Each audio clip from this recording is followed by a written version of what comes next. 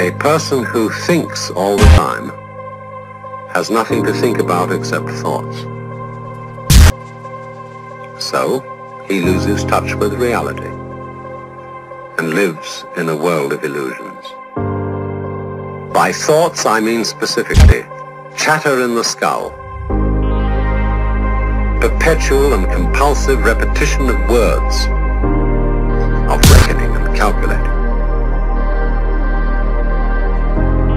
not saying that thinking is bad.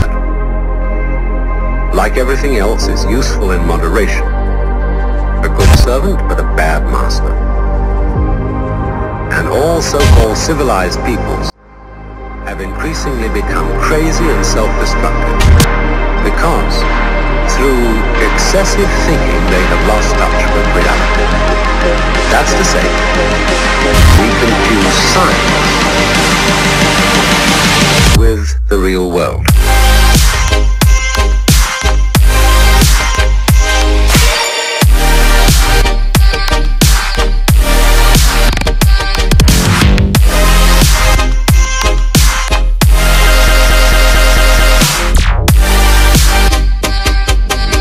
This is the beginning of meditation.